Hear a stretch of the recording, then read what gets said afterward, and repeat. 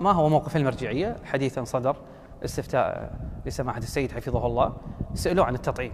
شو نسوي الحين؟ هاي التطعيمات المرخصه نطعم ولا ما نطعم قال إذا كان إذا كان لو ما طعمت لو ما طعمت في احتمال كبير ومعتد فيه مثلا وتخاف على نفسك مثلا إنك يتضرر حياتك أو يصيبك ضرر غير قابل للتعويض لو تركت التطعيم.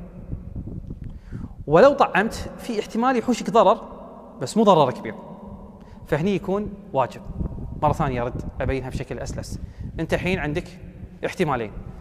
لو طعمت راح أنقذ نفسي مثلا من ضرر معتد به وهذا الضرر كبير. ولو ما طعمت احتمال أقع في ضرر كبير لو ما طعمت مرة ثانية. إذا أنا تركت التطعيم وما طعمت راح أقع احتمال في ضرر كبير غير قابل للتعويض. ولو طعمت هذا الضرر بسيط يعني ارتفاع حرارة وسخونة في هذه الحالة. يجب عليك أن تطعم. ليش؟ لأن إنقاذ النفس من التهلكة أمر معتد أمر لازم. وشفنا أناس كانوا معنا يمكن في المسجد وغير المسجد فقدوا حياتهم. يعني لا حد يكابر على هالمسألة. الناس فقدوا حياتهم بسبب الكورونا. ما يحتاج إنه هو ما أدري كثير أنا عشت تجربة حشتني كورونا.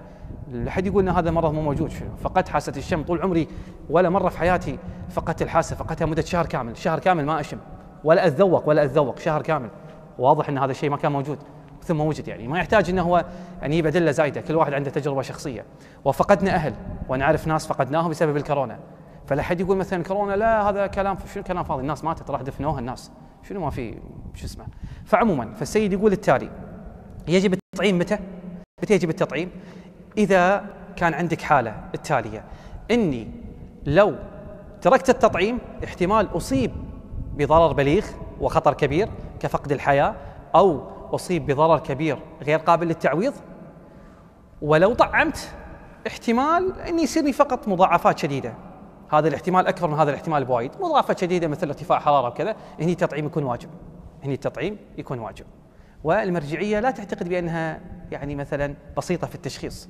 السيد ما قال هالكلام إلا بعد قطعا أن اطلع على الأبحاث وشاف التطعيمات المرخصة ويعرف النسب ويعرف كل شيء. هذا مرجع ومو مرجع عادي. والمراجع بشكل عام يدققون جدا في حياة الناس. فهذا ضوء أخضر لأن الإنسان يطعم وشفنا الناس اللي طعمت ما فيها ولا شيء. قد تصير حالات وتصير حالات. هذه يترك بعد أهل التخصص هم اللي يبتون في هالمسألة. اذا السيد الخلاصة يقول التطعيم واجب متى؟ إذا كان إذا كان تطعيمك راح ينقذك من ضرر كبير جدا وحتى لو طعمت راح يصيبك ضرر